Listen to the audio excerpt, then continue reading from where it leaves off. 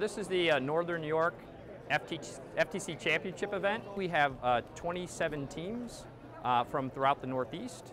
They're competing, uh, typically a team is uh, 10 to uh, 20 students and a number of coach mentors, and they design and build a robot made out of metal and plastic Lego parts and um, these robots have to play a different game every single year. And so uh, they build a different robot every year, they have a different um, kit of parts, and they have um, a different set of rules every year and a certain amount of time that they can do it in. So this year's game is called Ring It Up. They actually have to pick up these little rings and they have to put the rings onto a rack. And the rack gets different scores based on the different levels. Um, there's all sorts of different points involved students, teachers, and now even the government's really figuring out that STEM education is critical. If you want to get more jobs available, you want to have people to fill those jobs, you've got to have the resource available. And the critical part is to start them young. So you start them immediately at the Lego age. They're five, six, eight years old and they're playing with Legos and it turns out they're playing with robots.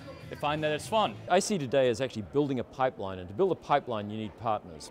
And, and, the pipeline we're building is to, is to provide the, the, graduates from institutions like Clarkson uh, that are critically needed for the economy. We know that we need people in, in, in science and technology, engineering and math, the so-called STEM areas.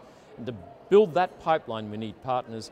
It's not just the educational system, K through 12, that we have to bring on board and, and have the part of the pipeline, ourselves, higher education, but we need companies that both support financially and also they're the ones who uh, our STEM graduates are going to go to work for. And so companies, I, I particularly mention Time Warner Corporation, uh, their, their, project to uh, connect a million minds is really important. Uh, New York Power Authority, National Grid, all these companies jumping on board. Uh, that says something to these students that are interested in, in, pro, in careers in, in the STEM fields. Every student that gets involved in this program um, gets the experience to be inspired, to work with um, you know, great mentors, to work with uh, teachers and other students to, to really develop their um, technical skills.